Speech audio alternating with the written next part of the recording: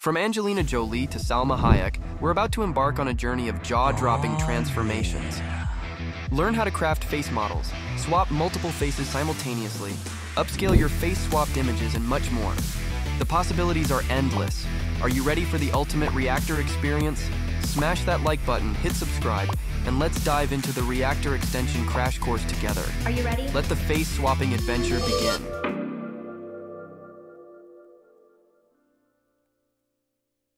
Before we embark on the thrilling journey of creating incredible face swaps, it's essential to guarantee the correct installation and setup of the Reactor extension. Let's start by visiting the Reactor GitHub page, where you can find all the installation details. Because we're using the automatic 1111 web UI, we'll follow the steps provided below. To start, download the Community Visual Studio 2022 for Windows. Click on the link mentioned in the installation details. Once on the page, you'll find a free download button. Proceed by clicking on it. Now go to your Downloads folder and be sure to initiate the download of Visual Studio 2022 by double-clicking on it. Firstly, it will install the Visual Installer, allowing us to choose the workloads we want to download. Proceed with the installation as you would with any other program until the Visual Installer is completed. Once that's completed, a new screen will appear, allowing you to choose your workloads. Following the installation guide's recommendation, opt for the desktop development with C++ workload and proceed with the installation. Be patient, as this may take some time for a proper installation. Once everything is complete, close the window and return to the Reactor GitHub page, where we'll be prepared for our next step. Moving on, our next task involves installing the Reactor extension, as outlined in Step 2 of the installation guide. Be sure to copy the GitHub URL and navigate to the Extensions tab within the Stable Diffusion Web UI. Click on the Install from URL subtab, paste the GitHub URL, and proceed by clicking Install. Once the installation is complete, go to the Installed tab and click on Apply and Restart UI to trigger a user interface restart, ensuring the seamless integration of the Reactor extension. After a successful installation, take note of the Reactor expansion panel now present when you scroll down in the user interface. If you happen to encounter any errors during the Reactor extension installation, we suggest referring to the official Reactor GitHub page. It includes a detailed troubleshooting section that provides explanations for common errors and their solutions. In the upcoming chapter, we'll begin by crafting a straightforward face swap using this newly installed extension. See you in the next one. Now that the Reactor extension is correctly installed, let's explore a practical example of face swapping with the Reactor extension. Go to the Text to Image tab within Stable Diffusion, open the Reactor expansion panel, and drag a face portrait onto the canvas. The following step involves checking the checkbox to Enable Reactor. Afterward, you'll need to select a checkpoint. We recommend the Realistic Vision checkpoint for its exceptional performance in creating realistic portraits. Now generate both a positive and negative prompt, and click on the Generate button to witness the impressive face-swapped result. Please note that your first face swap with the Reactor extension might take longer as it unpacks necessary models from a zip file. However, subsequent swaps will be faster. The end product is a striking face resembling Angelina Jolie, created from the input prompt you provided. Let's explore a few more examples using the same prompt. If you're interested in using this prompt, be sure to check our website for a written guide accompanying this crash course. You can find the links in the description. Next, we'll delve into using the upscale feature within the Reactor extension to achieve high-quality images. Welcome to this section of our Reactor Face Swap crash course. In this segment, we'll delve into enhancing your face-swapped images with the Reactor extension's upscale feature. Let's jump right in.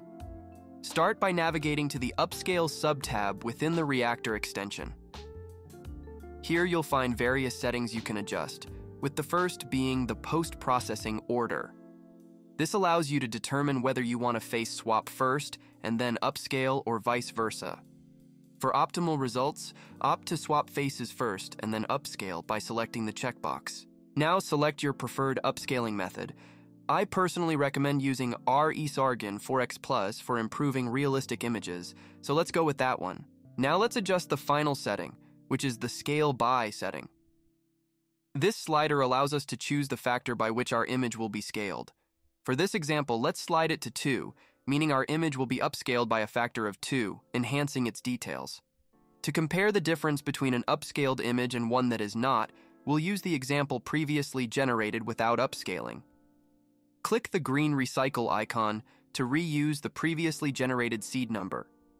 Ensure you have a prompt, negative prompt, and a correct checkpoint set up. Finally, click the Generate button to upscale and enhance your previously generated image. Observe the incredible details in the image. It's truly amazing. Once you've completed the upscaling process, you can find the generated images in the default output locations. Simply click the yellow folder icon below the generated images to open the folder location where the upscaled image is stored. Now that you've learned how to enhance the image after the face swap, in the upcoming chapter, we'll explore how to save specific face models within the Reactor extension. For instance, we could store Angelina Jolie's face within Reactor for future use cases. Looking forward to seeing you in the next one. When swapping a specific face, it can be inconvenient to search for the correct face portrait each time you want to drop it onto the Reactor canvas for a face swap. In response to this challenge, the Reactor extension introduces a new capability. This feature allows you to save face models of faces you frequently use for face swapping. Let's delve into how this functionality works. So let's start building and using our first face model. To start this process, navigate to the Tools sub-tab within the Reactor extension. Here, you can place a facial portrait onto the canvas, assign it a name, and click Build and Save. This action will generate a safe tensors file containing the face model of your uploaded facial portrait. In this example, we're crafting a face model featuring Angelina Jolie. Now that you've crafted your face model, let's explore how to apply it in future face swaps. Navigate back to the main sub-tab and select Face Model. On the right side, you'll find the option to choose your created face model from the drop-down menu. In our demonstration, you can observe the inclusion of the Angelina face model in the list. If your face model isn't visible, click the blue refresh icon next to the drop-down menu to update the newly added face models. This action ensures that your face model becomes visible and can be selected. Once you've chosen the appropriate face model, select a checkpoint, compose a prompt, and witness the remarkable results. Now that we've got the hang of making face models for future face swaps, let's make another one using the same steps. This time, we're creating a face model of the awesome Salma Hayek. Go back to the Tools section, switch Angelina Jolie's face with a picture of Salma, give it a name, and hit Build and Save. Once the face model is prepared, return to the Main tab and click the blue refresh icon to confirm Salma's face model is listed. If it appears as one of the drop-down options, ensure to select it. Now you're all set to click Generate and witness the captivating beauty of Salma Hayek in a silk dress. Let's take a moment to admire this. It's just amazing. They're absolutely perfect. The face models we've just made are a quick and easy way to create consistent character face swaps effortlessly. These carefully crafted face models will be essential in an upcoming chapter where we'll learn how to swap faces in existing images, whether they're from Stable Diffusion or the internet. To showcase face swapping on an existing image, we naturally need a picture for the face swap. Therefore, we've generated the following image. This specific image, considered as our target image, was created using the text-to-image feature in Stable Diffusion. Feel free to pick a group photo from the internet that resembles the one we created or generate one yourself using Stable Diffusion. Once you have an image, let's proceed to the next step by heading over to the Image to Image tab and dropping your group photo onto the canvas.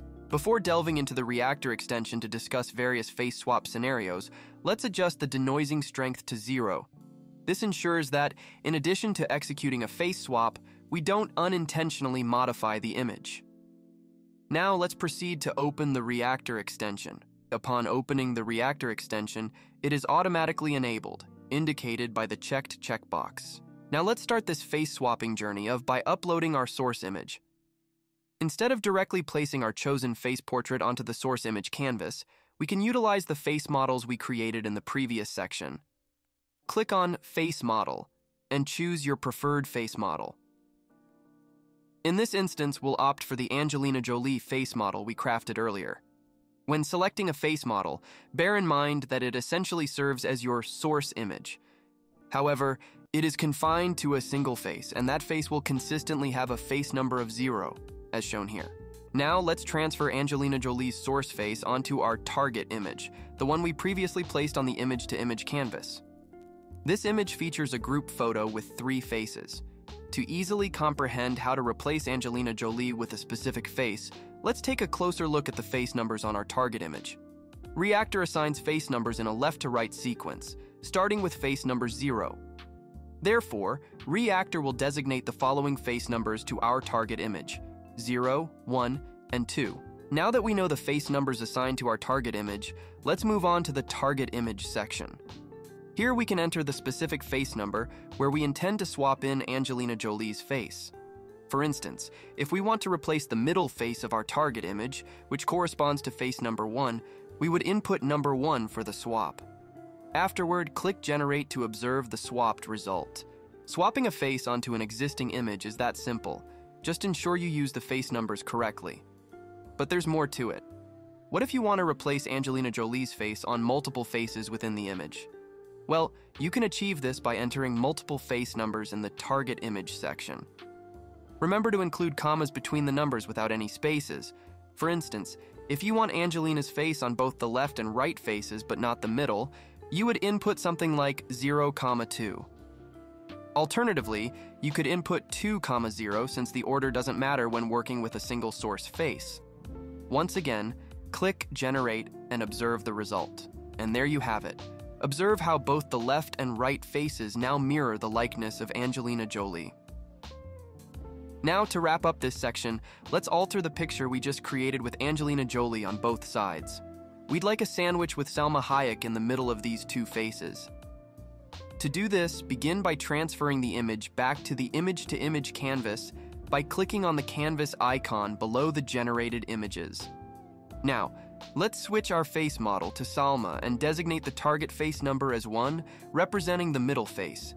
Once again, click Generate and observe the result. And there you go. See how we've achieved not one, not two, but three face swaps in a single image. Now that you understand the concept of face numbers and how to use them for accurate face swapping, feel free to experiment with face swapping on your own. In the next section, we'll explore how to swap multiple different faces simultaneously. See you in the next section. Becoming proficient in swapping multiple faces simultaneously is a valuable skill. In this section, we will explore just that. To begin, we'll remain in the Image to Image tab within Stable Diffusion. For the purpose of this example, let's replace our original target image with a new group photo featuring three beautiful brunettes. Okay, now that we've updated our target image, it's important to note that the Reactor extension will assign face numbers to each face. Similar to the previous example, the face numbers will progress from left to right, starting at 0. Therefore, we have faces labeled as 0, 1, and 2, respectively. Now that we are aware of the face numbers of the target image, let's scroll down and return to the image source. Here we have two options for uploading our faces. On the left, we have the single source image canvas, and on the right, we have the multiple source images canvas. You might assume that we would need the right canvas, but hold on. That is not how we will perform face swaps for multiple faces at once. The right canvas serves a different purpose, which we will explain later. To swap multiple faces simultaneously, we need to prepare a source image with multiple faces on it. For this example, I have prepared a source image with both Angelina Jolie and Salma Hayek on it. Now let's place it on the left canvas. The next step is to assign face numbers to our source image as usual. This process occurs from left to right, starting with 0. For our source image, we will input 0, comma 1 in the source image input field. This means that Angelina Jolie is assigned face number 0, and Salma Hayek gets assigned face number 1. Now, we essentially link each face number to a specific target face number. So, first of all, let's clear the target image input and consider what we want to achieve.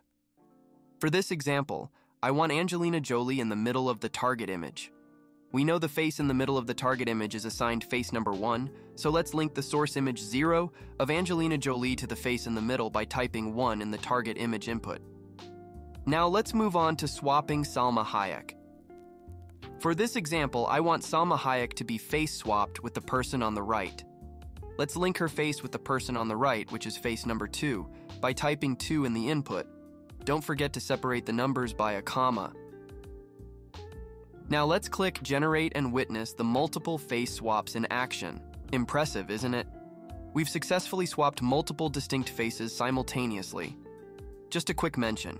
When trying out this method, remember that if your source image has X number of faces, your target image must also have at least the same number of faces as the source image for it to work correctly. Now let's try one more combination to ensure your understanding. If we desire Angelina Jolie on the right side, we can achieve this by linking her face to target face number of 2. So let's start by typing 2. Similarly, to position Salma Hayek all the way to the left, we'll link her face to target face number 0. After clicking Generate, we achieve the desired results. Fantastic! Now you should be able to swap multiple faces at once on your own. But do keep in mind that the order of the target image input does matter when working with multiple source faces. Alright, now that we've learned how to swap multiple faces by using a multi-face portrait image on the single source image canvas, you might be wondering about the multiple source images canvas. Well, this canvas is designed for uploading multiple single face images onto it, creating an image grid with all the face swaps. This feature is particularly useful for quickly testing face swaps. Beyond that, I don't frequently utilize this feature. However, let's try an example. Firstly, let's clear the left input, and then upload individual face portraits of Angelina and Salma onto the right canvas. Keep the source image default value at zero, and also maintain the default value of zero for the target image. Now, let's click Generate and observe the outcome. As observed, we now have an image grid featuring three images. The first one on the left remains the default image without any face swaps, the second image showcases Salma Hayek's face swap onto target face number zero, while the last image demonstrates Angelina's face swap onto target face number zero.